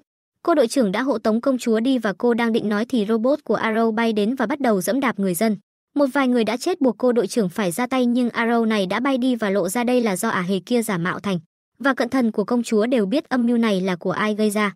Cô ta sau đó còn tạo ra một con rối để đi vào trong kích động dân chúng về việc công chúa đã mang nhóm Arrow dị giáo vào đất nước này, thế là họ giờ đây săn lùng cả dân làng. Công chúa không thể nào trấn an được dân chúng và tối cao cũng đã ra mặt và biến thành dạng đẹp mã nhất rồi liên lạc với người dân. Ông ta cho rằng bản thân sẽ tước danh hiệu của công chúa và cho người dân tự hành quyết, đội trưởng đã chặn người dân lại nhưng thư ký đã cho người ra bắt công chúa lại. Cô đội trưởng muốn đưa công chúa đi thì lại bị ả hề kia chặn lại, công chúa cứ thế bị bắt còn anh bác sĩ thì đã đến tìm tối cao. Ông ta nói ra mục đích của bản thân là tiếp tục gây ra chiến tranh chứ không thích cái kiểu hòa bình của công chúa. Và cũng chính ông ta là người đã khiến anh nhìn nhầm mà bắn công chúa rơi khỏi diều lượn. Anh ta kích hoạt vòng tay và cố chống trả thì bị giã lại không trượt phát nào, bí quá nên anh ta chuồn là thượng sách. Công chúa lúc này sắp bị hành quyết thì Arrow đã đến kịp để cứu cô, cậu cũng biết việc bản thân bị giả mạo nhờ được anh bác sĩ báo lại. Subi thì làm việc gấp 10 lần để sửa tàu. Arrow muốn đi tìm dân làng còn à hề sẽ cho đội trưởng xử lý. Anh bác sĩ đang mang tòa nhà mà dân làng đang trú ẩn đến chỗ con tàu thì bị người dân đâm trúng, anh cố đưa dân làng đi xa nhất có thể và đứng lại cản thì bị đâm túi bụi. Arrow đã đến xử lý dân làng nhưng anh bác sĩ thì không cứu nổi nữa rồi. Anh ta dặn công chúa là cẩn thận với tối cao và rồi ra đi, tên thư ký đến để đòi công chúa vì đây là chuyện nội bộ quốc gia. Nhưng Atli đã tuyên bố con tàu và người dân của cô cũng là một đất nước độc lập và cô sẽ không để ân nhân là công chúa đây gặp nạn. Và kể từ lúc đó thì hai tháng sau đã trôi qua. Không ai biết tại sao suốt hai tháng rồi mà không hề có một kho báu nào rơi xuống. Đồng thời quân lực của Cộng hòa cũng đã suy giảm đáng kể. Nhưng trên tất cả là họ chính thức được hai nước lớn ký kết công nhận là một quốc gia độc lập, Atli được cho lên làm nữ hoàng. Vì vào hai tháng trước, tối cao đã hạ lệnh để họ đi vì ông ta muốn họ thành một quốc gia độc lập. Và càng nhiều quốc gia thì chiến tranh sẽ càng lớn. Cả con tàu sau đó đã chọn được nơi định cư và sản xuất nông nghiệp, người dân giờ chẳng còn đói khổ và ai nấy đang nghĩ nên chọn ai làm người trị vì. Ai nấy đều có lý do riêng để từ chối nên Atli là người được chọn. Tối cao sau một thời gian suy ngẫm thì đã quyết định sẽ lại phát biểu trước dân chúng để khơi mào chấm dứt sự nhàm chán. Hôm đó, buổi ký kết đã diễn ra ngay tại con tàu này. Vua của Cộng hòa được mời đến, tên thư ký hay giờ đây đã là vua của đế quốc cũng đến tham gia. Tên tổng thống lúc đầu cũng được mời đến và không tin được ngôi làng từng bị họ hắt hủi này lại lớn như này. Lúc vào trong, vua đế quốc tỏ rõ sự khinh miệt với công chúa, hay giờ đây đã là ủy viên hội đồng tên là Fine. Cô đội trưởng thì cho biết các chư hầu có mặt ở đây đều đã chọn về dưới đất nước của họ nên nếu nước nào có ý định tấn công thì họ sẽ bảo vệ các chư hầu này. Sư đoàn thiết giáp trước đây dưới quyền cô giờ cũng sẽ một lần nữa đi theo cô và rời bỏ đế quốc. Những cậu nhóc thiếu niên lần trước Arrow giúp cũng đã đến đây để giúp. Những chư hầu khác thì liên tục su nịnh. Trong lúc đó, hai đại tướng ở Cộng hòa thì đang cho quân lính tập luyện để có thể tay không đánh lại cả robot. Vì giờ họ đã mất hầu hết vòng nên quân lực bị giảm đáng kể, với cả cai lúc này thì cũng buộc phải thay đổi. Anh đã phải ngồi vào bàn giấy để nghiên cứu về hạt niềm tin và hy vọng sẽ có cách để kích hoạt giáp chiến mà không cần đến cái vòng. Nhưng ngoài việc anh ta tìm ra rằng Arrow khi thức tỉnh sẽ là sự hủy diệt của nhân loại thì anh ta còn tìm được thêm một thứ nữa, nhưng đúng lúc này thì Arrow và Subi đến đây. Hai ông đại tướng và Gen muốn choảng nhau nhưng quan trưởng ấn đã cản họ lại. Quan trưởng ấn là vai trò lớn chỉ sau nhà vua, Subi thắc mắc tên quan trưởng ấn mập trước đây đâu thì hắn đã ôm tiền bỏ chạy khi thấy Cộng hòa thua trận. Hắn lúc này đang bỏ trốn thì vô tình lại rơi vào tay của ả hề và ả cho biết hắn đã được tối cao lựa chọn. Subi lúc vào trong đã bắt đầu thương thuyết và muốn một phần đất của Cộng hòa để đổi lấy hòa bình. Gen không chịu và cho rằng đây là ham dọa. Nhưng Arrow cho rằng cô đang quá lỗ mãng. Cô nghĩ Subi chịu đến đây dù biết cô rất hận anh ta mà không chuẩn bị gì hay sao. Subi lấy đống bom mà anh gài trước khi rời đi để dọa vì cô không chắc là đã tìm được hết bom hay chưa. Subi đã phồng to áo lên và đẩy cô đi.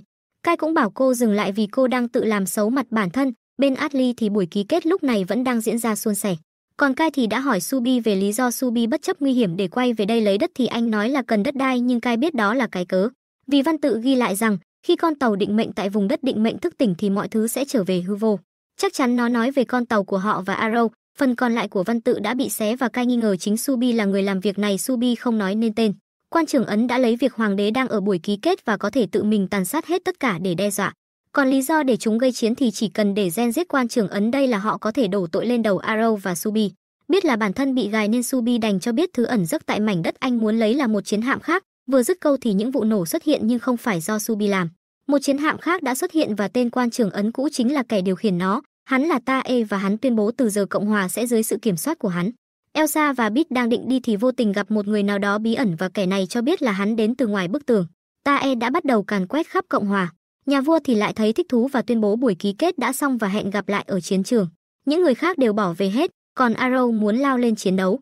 Cậu tấn công vào buồng lái nhưng hắn đâu có để buồng lái lộ liễu như họ. Hắn bắn trả và Atli đã gọi cậu về bàn bạc về người bí ẩn họ mới gặp nên cậu đành quay về.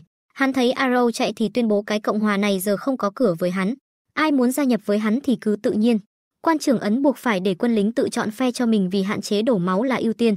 Cô gái bí ẩn mà nhóm Elsa tìm được tự xưng là một tín đồ của tín ngưỡng Linh, nhà sáng lập tín ngưỡng này muốn Arrow sớm nói cho thế giới nghe sự thật. Cậu sẽ phải đến dãy núi linh thiêng nằm ở bên ngoài bức tường. Họ sẽ cho cậu cách để đến đó nên Arrow sẽ đi, cô ta sau đó cũng hóa thành cát bụi. Subi xem qua thì biết cô ta được tạo nên từ hạt niềm tin nhưng những bộ giáp chiến, Arrow lo lắng về việc khi cậu biết sự thật thì thế giới sẽ bị phá hủy như lời tiên tri. Nhưng Subi nghĩ là thế giới đã bị thay đổi từ khi cậu đến nên cũng có thể xem nó là phá hủy. Trong lúc đó, quân lính Cộng hòa đang cố tấn công Tae, hắn ta xả đạn vào họ nhưng hoàng đế đã xuất hiện và lao thẳng về phía chiến hạm của hắn. Hắn lo sợ xả đạn nhưng ông vẫn còn sống nhờ chiếc vòng mà ông ta lấy từ tên tổng thống. Hắn ta đã cho tàu bay cao lên thì ông ta tạo ra một cây cung rồi tự bắn bản thân bay lên trên trời và lao xuống tên Tae. Ông chỉ cần một chiêu đã dứt điểm hắn và đánh rơi con tàu. Ông sau đó đi thông báo cho quan thần về việc trong tàu còn nhiều vòng nữa, thế là Cộng hòa đã có được một chiến hạm riêng. Vua đế quốc lo là Cộng hòa sẽ xâm lược nhưng tối cao cứ bảo hắn yên tâm vì mục tiêu đầu tiên của Cộng hòa sẽ là nước của Arrow. Hắn cũng nhận được một cái hộp từ tối cao và ngay sau đó đã ra lệnh di tản người dân. Khi người dân đi hết thì hắn đã kích hoạt và kéo một chiến hạm nữa từ dưới đế quốc chui lên và cũng nhắm đến Arrownot. Tối cao đã gửi tin đến cho tàu của Arrow và cho biết đây là hai món quà hắn gửi tặng. Subi không biết sao tối cao lại biết về con tàu và tại sao hắn lại chọn lúc này để nổi dậy, có điều giờ họ chỉ có đến xem tín ngưỡng linh kia là gì thì mới giải đáp được. Arrow biết Subi lúc nãy đã không chắc chắn về việc cậu có phá hủy thế giới hay không, nhưng anh ta phải nói vậy để mọi người không lo sợ. Sáng hôm sau, cả đoàn đã đến được gần với bức tường, nhưng tàu của đế quốc đã đuổi đến buộc cô đội trưởng và sư đoàn của cô phải ra đánh chặn. Bên kia thả ra nhiều quân lính và tên nào cũng có thể bay, nhưng mục đích của cả đoàn chỉ là câu giờ cho Arrow. Cậu đã đứng sẵn trên mũi tàu và Subi đã cho quay tàu và kích hoạt cơ chế dựng đứng lên của tàu. Khẩu pháo giờ đã to hơn và bắn ra một chùm tia sáng không thể né. Đây là thành quả tìm tòi sau 2 tháng của Subi nhằm chống lại mấy tên có thể bay. Chiếu thẳng một đường xong Subi còn cho xoay sang hai bên để dọn sạch hoàn toàn quân đế quốc. Con tàu do bị mất hạt niềm tin nên không thể bay được nữa. Và cứ thế đoàn của Arrow tiếp tục tiến đến bức tường và một giáo đồ nữa lại xuất hiện và bảo họ cứ đi thẳng vào bức tường. Quả nhiên bức tường đã để họ xuyên qua nhưng phía bên kia lại là một bức tường khác, cứ thế họ vượt qua liên tiếp ba bức tường. Còn đế quốc thì đã lấy thêm vòng ra để tiến đến khám xét bức tường. Nhóm Arrow đã gần đến được đỉnh núi, nhưng một vấn đề là mấy cái cột này. Chúng toàn là đầu lâu, đã vậy còn có đầu của anh bác sĩ ở đây. Đội trưởng đã chạy ra xem thử thì một người đã bảo cô đừng động vào. Đây chính là giáo chủ của tín ngưỡng Linh, những khuôn mặt này đại diện cho người đã chết. Những cái cột càng cao thì linh hồn đó càng gần với thiên đường, tên giáo chủ muốn Arrow phải nhớ lại hết tất cả. Hắn sau đó dùng phép lên cậu khiến cậu quằn quại, nhưng người khác cố giúp Arrow thì đều bị cản lại. Tàu của đế quốc cũng đã xuyên qua mà đuổi đến. Cả đoàn tính quay lại bắn trả thì Arrow đã một mình lao lên chiến đấu, vết sẹo trên người cậu dần lành lại và khiến cậu sắp đến trạng thái mất kiểm soát. Tên vua đế quốc vẫn tự tin vì Arrow không thể giết người, nhưng hắn đã bay mất chiếc vòng và bay luôn mạng sống. Arrow lần đầu giết người thì đã vô cùng sốc. Arrow sau đó cố rời đi thì bị một luồng điện giữ lại, sức mạnh của cậu lại mất kiểm soát và khiến cậu xóa sổ hết quân lính đế quốc ở xung quanh. Ai nấy đều bị sốc còn Arrow thì chỉ biết bất lực bảo cô đội trưởng mau chạy trước khi cậu lỡ xóa sổ cả cô. Giờ đây thì họ đã có thể chắc chắn Arrow là người mang đến hủy diệt cho thế giới. Và tên giáo chủ kia thật ra là ả hề do tối cao gửi đến. Hắn đã biết Arrow là ai ngay từ đầu và hắn làm cách này là để Arrow lấy lại sức mạnh vốn có của cậu. Vì cậu là một kẻ hủy diệt do Chúa Trời gửi xuống, ả hề sau đó đã dẫn dụ Arrow tiêu diệt thêm nhiều người hơn nữa. Và cứ thế, toàn bộ lính của đế quốc đều do một tay cậu tiêu hủy toàn bộ, núi linh hồn thì càng ngày càng cao lên. Lý do Arrow được đưa đến đây là vì nơi này gần với Chúa Trời nhất, nhưng cậu vẫn còn giữ được ý thức dù lấy lại sức mạnh. Cậu cố tháo vòng ra thì cơ thể cậu tự chống cự lại. Cậu bắn một phát về phía con tàu nhưng đã kịp thời tự hủy đi đòn đó. Cậu đã bảo mọi người hãy bắn hạ cậu, vì cậu không muốn thấy mọi người phải chết. Cậu hết lần này đến lần khác cứu họ nhưng lần này thì không thể. Ai nấy đã cầu cứu Subi vì anh ta luôn có cách. Subi gặp áp lực nên đã bảo mọi người khai hỏa vào mũi tàu để ngắt đi nguồn năng lượng của Arrow và bảo cậu đi thật xa để không hại được đến ai và câu giờ đến khi họ tìm cách sửa chữa lại cậu. Cô đội trưởng đã ra ngoài và Fine muốn đi theo, nhưng cô đội trưởng cản lại vì Fine vẫn chưa thể bay. Họ bị ả hề chặn lại nên Atli đã ra chói chân ả ta cho cô đội trưởng lao đến tấn công toàn lực. Ả ta buộc phải bỏ về còn Bit đã bắn hạ con tàu để thả Arrow đi. Cậu bay đi mất hút còn Subi muốn quay lại và hướng đến ngọn núi để tìm thông tin. Nhưng tối cao đã xây tường lên khiến họ không thể qua được. Subi lại phải gặp áp lực trong việc nên làm gì tiếp theo. Và đây cũng là lần đầu ta thấy Subi mất bình tĩnh đến mức này. Nhưng Bit đã giải nguy cho Subi khi cậu ta đã giữ lại đống đổ nát từ ngôi làng sử ở đây. Và trong số đó có chiếc hộp đã gửi Arrow đến với họ. Arrow lúc này đã đi thật xa và cố tháo chiếc vòng ra bằng mọi cách có thể. Bên con tàu thì vẫn chưa có động tĩnh gì. Liên lạc của họ với Arrow thì đã bị cắt đứt nên tạm thời họ có thể chắc chắn là tối cao sẽ không để mắt đến họ. Arrow thì đã đi đến bên giới của Cộng hòa và lại lỡ giết người ở đây. Những người trong tàu lúc này vẫn lo ngại về việc chống lại Chúa Trời nhưng họ đều đã đối đầu với nhiều đối thủ mạnh trước đây nên chẳng có gì phải lo cả, và biết tin là Subi đã có chiến lược. Tất nhiên là anh ta có và anh ta đang cần Fine trợ giúp.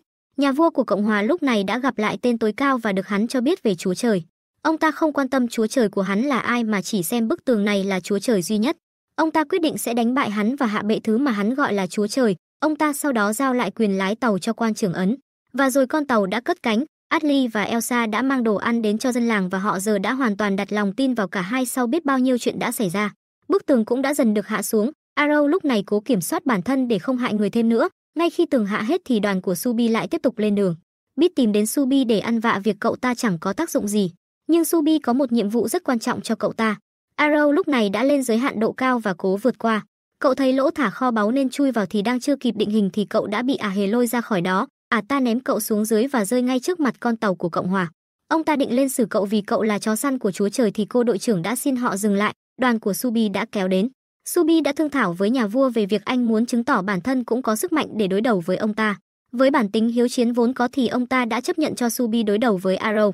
Ông cho Subi chứng tỏ thực lực và nếu thắng được Arrow thì ông ta sẽ là đối thủ tiếp theo. Cả đoàn của Subi giờ có thể thoải mái vì nhà vua sẽ không can thiệp vào. Fine là người sẽ nạp năng lượng cho pháo. Hai người cấp dưới của cô đội trưởng đã tấn công vào công chúa để cô hấp thụ và phóng lại về phía Arrow. Nhưng cậu vẫn cứ đưa tay chặn được, có điều Fine đã thành công tiếp cận được cậu và để nhân cách kia tóm lấy và bóp vào tay cậu khiến cậu bị vỡ mất và trở về thành người. Fine đã thuyết phục được bản kia của cô để giúp chiến đấu cùng. Cậu đã có thể gặp lại Subi và đưa tay cho Subi tóm lấy. Nhưng dù cậu không ở dạng robot thì cậu cũng có thể khiến Subi bay màu. Arrow đã hoảng loạn và không cho ai đến gần cậu và rồi quyết định cậu sẽ tự tay tiêu diệt tên tối cao kia. Cậu sau đó đã bay đi thì ả hề lại định bám theo. Fine đã nhờ cô đội trưởng chạy đi về đế quốc để cứu người dân trước khi tối cao nhắm đến họ. Ả hề bám theo thì đã có gen lao đến cản lại. Cả cô và Kai đều muốn xử ả ta để trả thù cho Subi. Kai đã nhận ra bản thân sai đến mức nào khi xem thường khát vọng của Subi, nhưng anh cũng thấy tội cho Subi khi bị chính mục tiêu mà bản thân theo đuổi hại chết. Kai cứ thế liên tục tấn công khiến ả hề vỡ vụn thành nhiều mảnh mà phát nổ. Ai nấy lúc này chẳng biết làm gì khi không còn Subi và Arrow, vì trước giờ họ đã quá phụ thuộc vào cả hai. Nhưng Bit đã lấy ra chiếc vòng mà Subi giao lại cho cậu ta và cho rằng dẫu không có hai người đó thì họ vẫn phải hành động vì lâu nay họ cũng đã thay đổi để mạnh mẽ hơn. Và họ thà đối đầu với Chúa Trời còn hơn tiếp tục cảnh đói nghèo, cứ thế cả đoàn lên đường quay về đế quốc để đối đầu với tối cao và sơ tán người dân. Cô đội trưởng lúc này đã về đến đế quốc và bảo người dân chạy đi, nhưng họ đều chẳng còn lòng tin ở cô và công chúa nên cô buộc phải dùng vũ lực để dọa họ chạy đi. Cô gặp lại tối cao và hắn cho rằng để con người vùng vẫy trong tuyệt vọng này còn thú vị hơn. Hắn đã nói ra việc chính hắn đã hãm hại anh trai cô ra sao khiến cô tức điên mà lao đến tấn công, nhưng cô hoàn toàn bị hắn chặn đứng. Hắn thấy cô cũng giống y đúc anh trai mình khi biết sự thật. Cô điên cuồng lao đến rồi liên tục bị hắn đánh bay. Cô đã dùng pháo để bắn thì hắn chặn lại và tóm được cô. Ngay lúc hắn định bóp nát cô thì Arrow đã đến giải vây, cậu sẽ dùng sức mạnh của mình để hủy diệt hắn nhưng hắn thấy việc chết dưới tay sứ giả của Chúa Trời là một ơn huệ. Nhưng cậu không tài nào đánh trúng được hắn khiến hắn càng tự đắc và cho rằng Chúa Trời chưa muốn hắn chết. Cậu bị khóa lại và hắn cũng không rảnh để chơi với cô đội trưởng vì khách quý của hắn đã đến. Chiến hạm của Cộng hòa, nhà vua đã cho người lấy cả trăm chiếc vòng ra và một mình ông đã đeo hơn 20 cái trên người rồi cùng các tùy tùng lao ra chiến đấu. Dù giờ đây ai cũng có thể bay nhưng Kai vẫn giữ gen lại bên mình. Tối cao đã cho Arrow lao đến tấn công nhà vua thì ông ta có thể chặn được tia phân hủy của cậu và còn đánh bật cậu ra chỗ khác. Tối cao cho Arrow bắn tia ra khắp nơi thì hoàng đế đã phản lại hết cho hắn. Hắn đã phải gọi mấy cánh tay ra chặn và Arrow muốn nhà vua hãy xử cậu luôn vì mấy Subi rồi thì cậu cũng chẳng còn thiết tha gì nữa. Ông ta đã bóp cổ cậu thì cơ thể cùng dần bay màu như Subi, thế nhưng sau cùng ông ta lại tái sinh lại với cơ thể trẻ trung và tay đang cầm thanh kiếm Arrow. Ông quyết định sẽ dùng chính vũ khí của Chúa Trời để chống lại tay sai của Chúa Trời. Tối cao bị dồn vào thế buộc phải chiến đấu nghiêm túc. Hắn đã lấy vòng ra và biến thành bộ giáp chiến, nhưng ngoài ra hắn còn tạo ra thêm một chiến hạm cho riêng hắn, chiến hạm của hắn liên tục xả đạn ra xung quanh. Hắn oanh tạc một vùng lớn xung quanh, nhưng trong tình thế khó khăn thì Fine đã đến và hồi phục lại cho tất cả mọi người. Nhưng vậy vẫn là chưa đủ với tên tối cao. Hắn đã kích hoạt một vùng kết giới bao bọc lấy chiến hạm và trong tình thế khó khăn đó, Bit đã ra mặt và lấy ra chiếc vòng mà Subi để lại. Chiếc vòng biến to ra và hợp thể với chiến hạm. Từ đó biến đổi con tàu của họ thành một con robot khổng lồ. Bit đã được Subi tin tưởng vì cậu ta luôn là người đoàn kết tất cả lại với nhau. Trong lúc Bit xử lý mấy cánh tay của chiến hạm kia thì Fine đã tranh thủ hồi phục lại cho toàn bộ mọi người. Năng lực của cô nhìn tiện là vậy nhưng nó lại gây hại trực tiếp đến cô khi cô phải hứng chịu nỗi đau để hồi phục. Nhà vua quyết không để công sức của cô uổng phí mà lao đến và xông vào nơi mà tên tối cao đang trú ngụ nhằm lôi hắn ra. Hắn đã chặn đòn tấn công và tự tách ra khỏi chiến hạm để tận hưởng trận chiến. Nhà vua nhận ra hắn đang phải nối dây với chiến hạm chứng tỏ hắn và chiến hạm có liên kết với nhau. Ai nấy đã lao lên đánh vào dây thì nó cứng đến bất thường, hai đại tướng và cai đều không thể nào làm chúng chảy xước. Nhà vua thì bị tối cao lao đến vụt tới tấp buộc Fine phải liên tục hồi phục nhưng tối cao đã tấn công bằng chiêu diện rộng để áp chế bớt khả năng hồi phục của cô và cũng để xem cô có thể trụ được bao lâu. Bit lúc này nghĩ ra một ý tưởng táo bạo. Cậu ta đã quyết định hợp thể hai chiến hạm lại với nhau và tạo nên một con robot mạnh hơn và to hơn, ai nấy đều cảm nhận được thứ sức mạnh này. Bit cho rằng đây là lý do Subi luôn muốn có những chiến hạm, và sức mạnh từ chiến hạm kết hợp đã đủ để đánh đứt mớ dây đồng thời Bit cũng xả hàng loạt tên lửa vào hắn. Nhà vua cho rằng hắn vẫn đang bị trói buộc bởi luật lệ của nơi này nên họ vẫn có thể thắng được. Ông và Arrow đã lao lên và hắn thấy rằng ông đang bị Arrow phá hủy dần dần nhưng vẫn đang phải dùng niềm tin để hồi phục lại. Ông muốn Arrow đừng nghe hắn nói nhảm mà cứ lao lên, cậu đã kích hoạt bộ đẩy phía sau thanh kiếm và cùng ông lao đến đẩy lùi hắn. Nhà vua đã dùng lại tuyệt kỹ bắn bản thân đi như một mũi tên kia và bay đến đâm thẳng vào người hắn. Nhưng hắn lại cảm ơn vì hắn đã cố tình để bị đâm trúng nhằm giải phóng Arrow trở về hình thái ban đầu của cậu. Cậu mọc ra những chiếc gai và đâm vào người ông. Cậu chỉ có thể xin lỗi, những người khác muốn lao đến thì ả à hề đã trở lại vì ả à ta có khả năng tái sinh cho đến khi thế giới này kết thúc. Nhưng hoàng đế không chịu ra đi dễ dàng như vậy. Ông đã rơi xuống người của tối cao và quyết có chết cũng kéo sức mạnh của hắn theo. Cậu đã đâm một nhát và lôi hết số vòng trong cơ thể hắn ra và dặn dò con cháu một lời cuối trước khi ra đi. Kết giới xung quanh tối cao biến mất hoàn toàn, con tàu của tối cao sau đó cũng phát nổ, chiều hôm đó. Tất cả đứng trước đống đổ nát và hy vọng sau này sẽ có thể làm đám tang tử tế cho nhà vua. Họ đã tìm kiếm cả ngày nhưng không hề thấy Arrow và hai tên phản diện ở đâu. Đột nhiên mấy đứa nhóc ở trang trại gọi đến báo là họ đang thấy Arrow đi khắp nơi tàn phá. Cậu giờ đang hoàn toàn vô vọng và bất lực khi chẳng còn ai có thể ngăn cản được cậu.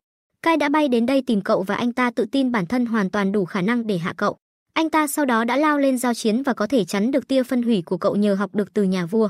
Ngoài ra anh ta cũng có một kỹ năng mà bản thân học được, đó là tạo ra một quả cầu hắc ám và ném nó về phía Arrow. Quả cầu này khiến cơ thể cậu bị hóa đá mà không thể hồi phục. Anh ta ném liên tục nhiều quả hơn vào Arrow và cậu thấy cuối cùng cậu cũng đã có thể chết.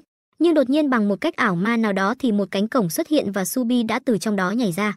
Nhưng Subi này lại có kích thước to ngang với hai chiến giáp. Anh ta đã làm gì đó và giúp Arrow không còn bị mất kiểm soát nữa và có thể để cậu biến hình trở lại thành người. Kai muốn biết Subi đây là ai vì Subi sẽ không bao giờ to như này. Thực ra đây là dạng niềm tin của Subi. Còn Subi thật thì đang ở trên tàu. Ba ngày trước, lúc Bit đến tìm Subi thì anh đã cho Bit thấy về thứ mà anh đang nghiên cứu. Đó là thiết bị giúp anh có thể biến thành dạng vật chất như những chiến giáp. Và anh sẽ đánh cược thử để xem liệu Fine có thể hoàn toàn cứu được Arrow hay không. Nếu không thì anh sẽ để bản thân bị phân rã và gửi lên cho Chúa Trời để xem anh sẽ khám phá được điều gì. Anh đã chỉ nói điều này cho mình biết biết, và nếu sau 3 ngày anh chưa trở lại thì anh cần biết rút nguồn để đưa anh trở lại đây. Subi đã trở lại và Bit bảo anh ta ra đây để giải quyết ngoài này vì người của Cộng hòa đang muốn đưa Arrow về để xét xử do cậu liên quan đến cái chết của nhà vua. Arrow sẵn sàng chịu tội vì đã giết quá nhiều người, Atli không đồng tình và muốn lấy lại Arrow. Có điều sự cố chấp đó có thể dẫn đến một cuộc chiến, nhưng hai cậu trai đã tìm đến và cho biết đây là lãnh thổ của họ và họ yêu cầu cai thả người. Thấy tình thế căng thẳng nên Subi đã ra điều kiện là anh sẽ cho Cộng hòa biết bí mật về thế giới để đổi lấy Arrow. Họ sau đó đã lên tàu để ăn tối và Jen vẫn cứ đứng cạnh để giám sát Arrow chặt chẽ. Cậu bảo cô có muốn thì cứ xin cậu một phát cho nhanh. Sau khi ổn định lại thì Subi đã bắt đầu giải thích về bản chất của thế giới này. Về cơ bản thì đây là một thế giới trong số vô vàn cái mà Chúa Trời tạo ra, chúng có nhiều nhánh lớn và nhánh nhỏ phân chia ra và thế giới của họ đây cũng là một nhánh nhỏ. Tất cả các thế giới đều dẫn đến một điểm chung là thế giới của Chúa Trời. Chúa Trời thu thập những hạt sức mạnh do các thế giới tạo ra để duy trì sự sống, về cơ bản thì Chúa Trời cần ăn niềm tin của họ để sống. Những thứ họ thấy bên ngoài bức tường chính là niềm tin của người đã chết được dồn về một chỗ để cho thánh thần hấp thụ. Bất cứ thế giới nào có hành vi bất thường đều sẽ bị coi là mối nguy và bị xóa sổ. Đồng nghĩa là giờ Arrow không còn là kẻ hủy diệt thì Chúa Trời sẽ có động thái tiếp theo. Tất cả quyết định sẽ chiến đấu với cả Chúa Trời để bảo vệ thế giới này. Fine vẫn muốn thử dùng lời lẽ để thuyết phục nhưng ai cũng đủ biết tên tối cao sẽ không chịu lắng nghe. Subi còn cho biết thêm là dùng kim loại chảy dưới mặt đá mà họ dùng lực đẩy để bay thực ra là cảm biến. Nếu Subi có thể đánh lừa cảm biến đó thì có lẽ họ sẽ có nước đi tiếp theo. Subi sau đó đã ra ý tưởng là thử quay lại bên ngoài bức tường xem sao vì nơi đó là nơi gửi niềm tin đến cho Chúa Trời, nhưng họ sẽ làm cách nào để ra khỏi thế giới khi có những thiết bị giới hạn độ cao ở trên trời. Arrow nhớ ra lúc cậu chui vào cổng kho báu thì đã thấy một vùng không gian ngoài đó và dựa vào. Suy luận thì Subi có thể dự đoán vị trí cậu đã tới được là ống thông đến khu vực của Chúa Trời. Hai cậu trai đã ra đề nghị liên minh các nước lại với nhau vì giờ họ đều có chung mục tiêu là bảo vệ thế giới này khỏi thánh thần. Họ lo ngại về việc Arrow trở lại đó thì có bị khôi phục sức mạnh hủy diệt không thì điều đó vẫn là có thể. Nhưng khả năng thế giới của họ bị hủy diệt còn cao hơn. Arrow muốn biết lý do cậu mất trí nhớ và muốn trở về bên kia bức tường thì Subi chưa tìm hiểu được điều đó. Arrow đã giết chóc quá nhiều và giờ cậu chẳng biết bản thân cần phải làm gì. Kai cho rằng cậu mà như vậy thì chết đi cho khỏe. Anh ta đã thách đấu cậu với tư cách của một người đàn ông, anh sau đó vác kiếm ra đấu với Arrow và cậu thì tay không. Cô đội trưởng không cho Fine ngăn cản vì đây là trận chiến danh dự, Kai sau đó đã lao đến thì Arrow đã né đi. Anh ta không hiểu sao cậu muốn chết mà giờ lại né để bám víu cuộc sống, anh ta thấy cậu quá thiếu quyết đoán. Anh ta gọi cậu là người đã hại chết nhà vua và đừng có mà đổ lỗi cho tối cao. Anh ta sau đó tấn công dồn dập nhưng Arrow vẫn chống đỡ trong vô thức. Cậu không hiểu hành động của bản thân thì đã nhận ra lý do để cậu sống chính là những người bạn mà cậu đã gặp. Cai thấy cậu đã chịu đánh trả thì rút ra vũ khí của nhà vua để tấn công cậu. Nhưng cậu đã dùng tay không chặn nó lại. Cậu giờ đây đã hiểu được lý do bản thân sát cánh chiến đấu với họ dù là kẻ hủy diệt, rằng chính ý chí sống còn mạnh mẽ của những con người cậu gặp đã thay đổi cậu, nhờ họ mà cậu có được ngày hôm nay và giờ cậu sẽ gánh vác tất cả mạng sống của những người đã nằm xuống. Cậu đã đấm lộn với Kai một lúc thì anh ta đã quay đi, hai cô gái đã lao đến ôm lấy cậu và cậu tự tin bản thân đã trở lại làm con người trước kia. Cậu giả vờ không nhớ biết nhưng làm sao cậu có thể quên người đã cho cậu cái tên này được chứ? Kai đã gặp lại Subi và Kai nghĩ Subi sẽ xem hành động vừa rồi của anh là thử Arrow.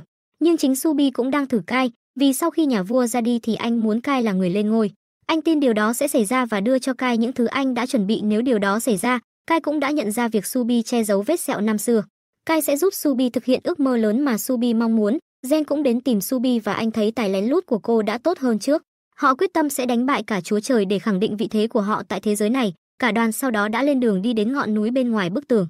Lúc đến chỗ bức tường, họ cứ thế vượt qua nó một cách dễ dàng không có trở ngại nào. Fine thì đã biết về việc đã xảy ra với anh bác sĩ và việc anh đã oan ức ra sao trước đây. Đoàn quân sau đó đã dùng một phút để mặc niệm cho những người đã hy sinh ở trong này.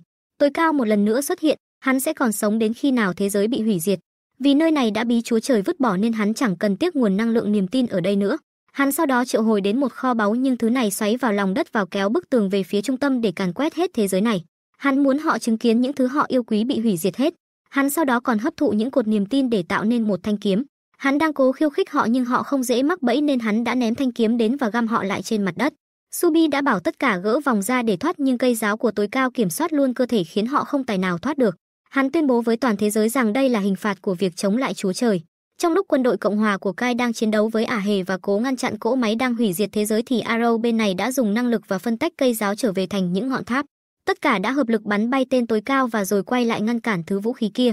Họ không thể khiến nó dừng lại và tên tối cao đã trở lại để phá họ. Hắn đã trở lại hình thái thật và gọi ra chiến hạm. Subi nhận ra thứ này có thể bị cản vì nếu không thì hắn đã không cần cản họ. Subi bảo Arrow kết hợp với Kai còn chiến hạm sẽ đối phó với tối cao. Arrow hóa kiếm và bảo Kai dùng lỗ đen như lần trước. Anh đã học được chiêu của hoàng đế và kích hoạt cung tên bắn Arrow đi. Cậu khuyết đại chiêu của Kai và triệt tiêu được thứ vũ khí kia, nhưng tối cao gọi ra thêm một cái nữa. Subi đã báo Arrow và Kai nhắm vào lối đi ra khỏi thế giới. Họ đã đục một lỗ trong đó và bay thẳng ra ngoài. Chiến hạm cũng đi theo còn những người khác thì lo giữ tối cao ở đây. Lúc ra khỏi không gian, họ đã thấy nhiều vũ khí khác ở đây nên phá hết. Và sau cùng họ đã đến được bức tường ngăn cách họ đến với thần. cai tấn công thì nó không si nhê, nhưng một người giống Arrow đã xuất hiện và biến hình để ngăn cản họ. Trong lúc đó, tối cao vẫn đang hành những người khác, nhưng chiến hạm của hắn đột nhiên vỡ vụn chứng tỏ Arrow đã gây ảnh hưởng được lên hắn. Họ cứ thế tràn lên tấn công và phá được chiến hạm của hắn, nhưng bản thể của hắn vẫn còn và bắn trả lại tất cả. Hắn nhắm đến Fine nhưng ả hề đã chặn không cho đội trưởng đến hỗ trợ. Còn Arrow và Nhung X người khác lúc này chẳng thể đả thương được thần do ông ta gọi ra cả bản sao của những người khác. Ông ta đã cho họ biết về bản chất thật của toàn bộ. Loài người thật sự đã di cư và bị nhiễm một loại bệnh. Chỉ còn một cá thể còn sống và đứa trẻ đó là Chúa Trời thật sự. Chúa Trời cần một lượng niềm tin lớn để phát triển nên hệ thống thế giới này đã được lập ra. Lý do họ bị trừ khử là vì nhà vua và con người đã phát triển quá mạnh mẽ và đe dọa đến hệ thống. Họ không hiểu sao trở nên mạnh mẽ lại là một tội ác, cả hội vẫn cố chống cự nên thần phải dạy cho họ một bài học. Thần sau ngắt đi hệ thống niềm tin khiến họ không thể lấy năng lượng để chiến đấu. Trong lúc đó, Fine đang gặp nguy hiểm thì Fine hắc ám và nhà vua đột nhiên xuất hiện, cả hai đã chết nhưng chưa kịp bị gửi lên cho Chúa Trời thì hắn đã phá đi ngọn núi. Và lúc Arrow khôi phục họ lại từ ngọn giáo của hắn thì họ đã có năng lực để trở lại chiến đấu. Sư đoàn và cô đội trưởng đã cùng nhau hạ được ả hề một lần nữa. Nhà vua và Fine hắc ám biết họ sẽ sớm biến mất nên sẽ cố chi đấu hết mình lần cuối. Họ sau đó đã cùng hợp sức để nhốt cả hai tên này lại và bắn chúng ra ngoài không gian. Nhà vua và Fanny hắc ám cũng bay theo vì anh bác sĩ đã bảo họ là Arrow ngoài kia đang cần sức mạnh niềm tin. Tối cao biết đây là cái kết của bản thân nên sẽ tận hưởng nó. Có lại năng lượng thì Subi đã bảo Bit làm việc, niềm tin của cậu ta đã chuyển hóa cả chiếm hạm bản sao củ thản thành sức mạnh và hợp nhất tất cả lại. Arrow cũng được cho to ra, nhưng thần cũng phân thân ra và to tương tự họ, nhưng Arrow quyết định sẽ giúp đỡ và nuôi dưỡng Chúa Trời để giữ thế giới của họ được tồn tại. Bằng chứng là cậu đã biến một ngôi làng thành những người đánh bại con tốt của thần họ sau đó cùng nhau hiệp lực và tạo ra đòn tấn công như Phượng Hoàng và phá hủy hết phán thân của thần. Nhưng thần vẫn chưa gục, có điều Chúa Trời lại chọn tin và cho phép Arrow nuôi dưỡng nó. Cứ thế thần bị biến mất vì đã không còn cần thiết nữa, họ sau đó được đưa vào lãnh địa của Chúa Trời và gặp đứa bé đó. Nó đã ngủ suốt 2000 năm và giờ nó sẽ cho họ tọa độ của quê nhà. Arrow và Subi muốn trả nó về quê nhà.